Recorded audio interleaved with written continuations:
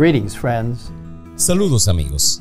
Hoy, mientras continuamos nuestro viaje a través del libro El conflicto de los siglos, regresamos a Alemania, donde, como leemos en el capítulo 10, todo el país estaba agitado mientras miles de personas se preguntaban qué le había pasado a Martín Lutero. Circulaban rumores descabellados y muchos creían que el reformador había sido asesinado. Algunos se unieron decididos a vengar su muerte y los líderes de la iglesia romana se aterrorizaron cuando vieron el nivel de ira contra ellos. Eventualmente llegó la noticia de que Lutero estaba vivo, aunque lo mantenían prisionero por su propia seguridad. Esto calmó un poco las cosas y los escritos del reformador se leyeron con más entusiasmo y mucho más personas se unieron a la reforma. Pero Satanás no estaba ocioso y trajo una falsificación para desacreditar la obra de Martín Lutero y otros reformadores, buscando destruir la obra de la reforma. Unos cuantos hombres se levantaron alegando tener revelación directa del cielo y descartando la autoridad de la Biblia. Rechazaban el gran principio que era la base misma de la reforma, escribió Elena de White. La palabra de Dios es la regla perfecta de fe y práctica. Y así, por haberse despreciado al único medio seguro de descubrir el engaño y la mentira, se le abrió camino a Satanás para que a su antojo dominase los espíritus. Y saben amigos, lo mismo es cierto hoy. Cuando dejamos de lado la Biblia como nuestra guía inspirada para la fe y la práctica, se abre el camino para que Satanás traiga todo tipo de enseñanzas falsas. El fruto de estos falsos maestros, que al principio decían ser partidarios de la reforma, pero que se guiaban por sus propios sentimientos y delirios, pronto se hizo evidente. Se produjo el caos, con el fanatismo y la anarquía tomando el control de muchos.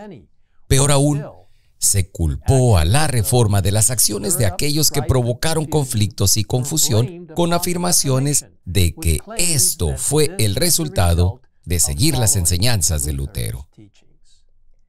Cuando Lutero se enteró de los estragos y la confusión causados por estos falsos maestros, incluso en Wittenberg, el mismo centro de la Reforma, él estaba decidido a dejar su fortaleza segura y una vez más alimentar a su rebaño.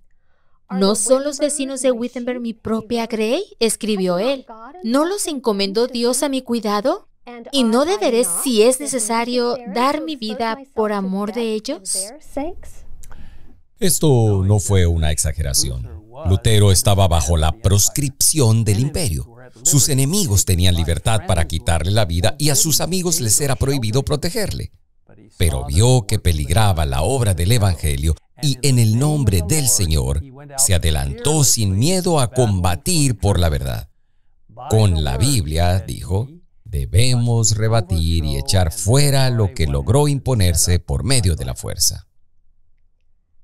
Pronto se difundieron informes por todo Wittenberg de que Lutero había regresado y predicaría. La gente acudió en masa a su iglesia, que estaba llena a rebosar. Durante una semana entera, las ansiosas multitudes se quedaron fascinadas mientras Lutero elevaba la Biblia día tras día.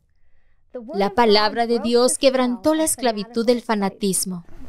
El poder del Evangelio hizo volver a la verdad al pueblo que se había descarriado.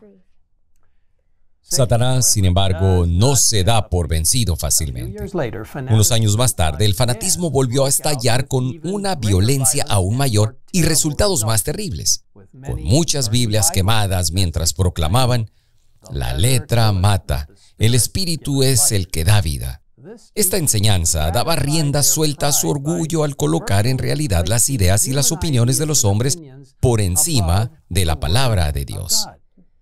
Amigos, cada vez que colocamos las opiniones humanas por encima de la Biblia, podemos esperar resultados terribles. En este caso, siguiéronse las más terribles escenas de sedición y contienda y los campos de Alemania se empaparon de sangre.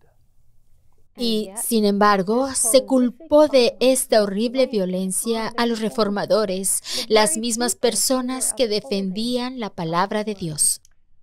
Satanás procura constantemente engañar a los hombres y les hace llamar pecado a lo que es bueno y bueno a lo que es pecado. Sin embargo, Lutero continuó defendiendo el Evangelio sin miedo de múltiples ataques y la palabra de Dios demostró ser un arma poderosa en cada conflicto. Fue durante este tiempo que Lutero completó la traducción del Nuevo Testamento al alemán y muchos la recibieron con gran alegría. Todos los que sabían leer estaban ansiosos por estudiar la palabra de Dios por sí mismos y por la noche los maestros de escuela de las aldeas leían en voz alta a pequeños grupos reunidos alrededor de las fogatas de las casas. Cuando Lutero vio cómo la gente era bendecida al tener el Nuevo Testamento en su idioma nativo, inmediatamente comenzó a traducir el Antiguo Testamento publicándolo en partes tan pronto como pudo completarlas. Cada vez más corazones se convencieron de la verdad de Dios y se verificó la promesa que se encuentra en el Salmo 119, versículo 130. La exposición de tus palabras alumbra, hace entender a los simples. Esa luz penetró por toda Alemania y más allá para nunca extinguirse. La persecución se encendió una vez más contra los que se mantuvieron firmes en su fe, pero no tuvo éxito. En vano se mancomunaban las autoridades civiles y eclesiásticas para detener el avance de la herejía. Inútilmente recurrían a la cárcel, al tormento, al fuego y a la espada. Millares de creyentes sellaban su fe con su sangre, pero la obra seguía adelante. La persecución no servía sino para hacer cundir la verdad.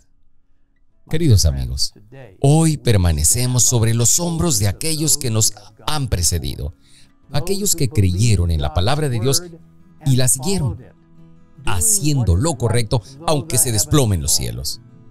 Que nosotros también valoremos y compartamos la verdad de Dios con los demás, dejando que la luz de las escrituras brille en este mundo de tinieblas. Les invito a orar conmigo ahora mismo.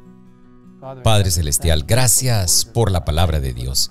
Gracias por el privilegio de compartir estas preciosas instrucciones y directivas desde el salón del trono del cielo mismo.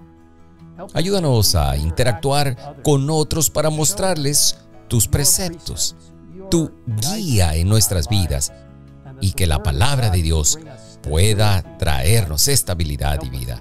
Ayúdanos, Señor, a alejarnos del fanatismo de aquellos que quieran reinterpretar tu palabra, cuando en realidad pueden torcerla para decir algo exactamente opuesto. Simplemente te pedimos que nos guíes en nuestro maravilloso trabajo que nos has encomendado de compartir la clara palabra de Dios con los demás. En el nombre de Jesús te lo pedimos. Amén.